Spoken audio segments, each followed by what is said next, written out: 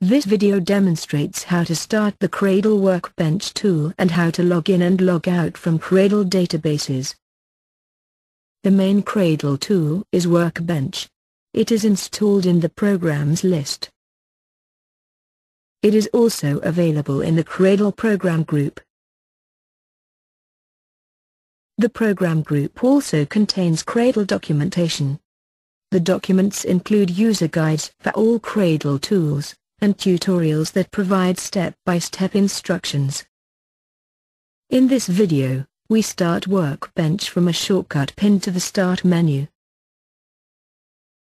To log into Cradle, you enter a username, a case-sensitive password, and a code that identifies the database you want to use. The first time you start Workbench, these details are provided, so you simply click Login, to log into the demonstration database, demo.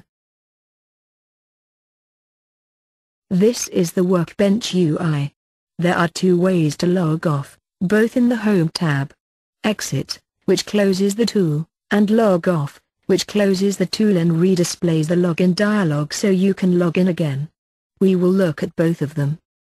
To close Workbench, select Log Off.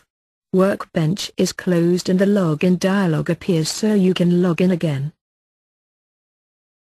There are several login accounts for the demonstration project, demo, that we provide with Cradle.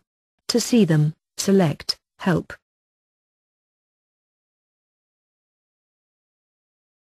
This is the login that we used before.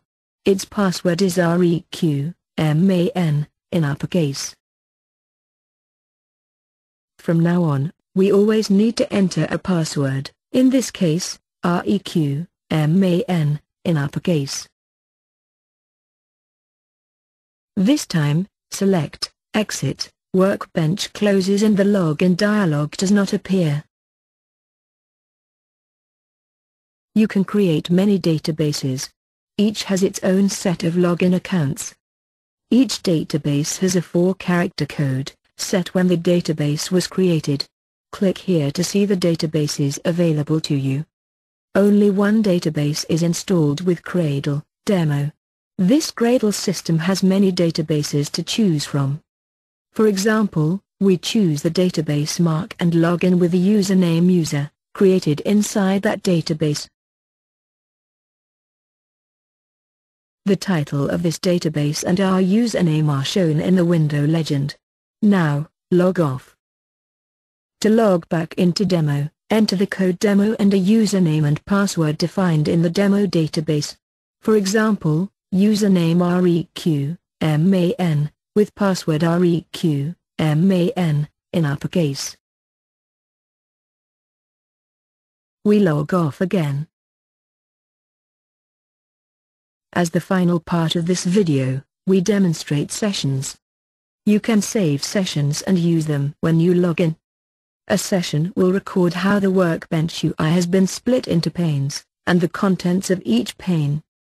Sessions are a type of definition. There are many types of definition in Cradle. Definitions can be saved with different scopes, some personal to you, others shared within a team, or within a database. We provide two sessions that are available for all users in all databases. We choose one session and use it to configure the Workbench UI when we log in. The session has split the UI into two panes. A query has been run automatically in the upper pane, and the lower pane is empty. So, sessions automatically initialize the UI with your preferred content and layout, this can save you time each time that you log in. We log off again to end this short demonstration.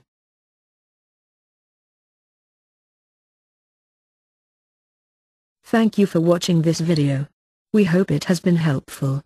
For more information, please visit our website, or contact us using the details on the screen.